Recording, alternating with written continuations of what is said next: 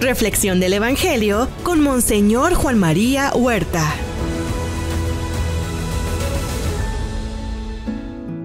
Bienvenidos a la reflexión del Evangelio este día 28 de agosto, domingo, domingo número 22 del tiempo ordinario. Hemos seguido durante los domingos el texto del Evangelio según San Lucas y vamos hoy al capítulo 14. Escuchemos. Un sábado Jesús fue a comer en casa de uno de los jefes de los fariseos y estos estaban espiándolo mirando cómo los invitados escogían los primeros lugares. Les dijo esta parábola, cuando te inviten a un banquete de bodas, no te sientes en el lugar principal, no sea que haya algún otro invitado más importante que tú y el que los invitó venga a decirte, déjale el lugar a este, y tengas que ir a ocupar lleno de vergüenza el último asiento.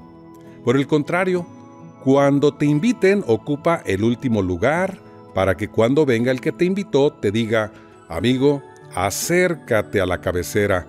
Entonces te verás honrado en presencia de todos los convidados, porque el que se engrandece a sí mismo será humillado, y el que se humilla será engrandecido.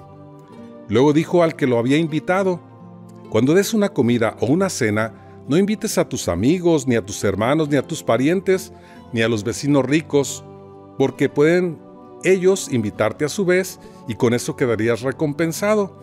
Al contrario, cuando des un banquete invita a los pobres, a los lisiados, a los cojos, a los ciegos, y así serás dichoso, porque ellos no tienen con qué pagarte, pero ya se te pagará cuando resuciten los justos. Palabra del Señor.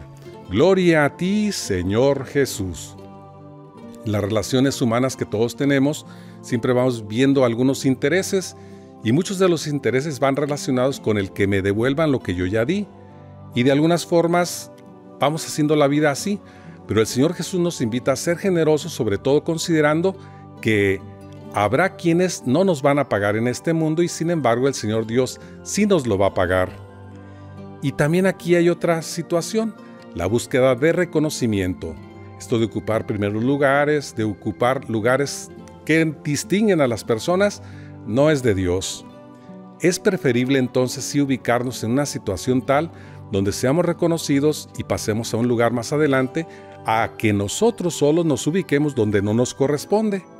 Por eso entonces, ¿de qué manera añoramos nosotros la reciprocidad y también de qué manera nosotros podemos ubicar el lugar que nos corresponde para no ser de alguna forma trasladados a otro sitio?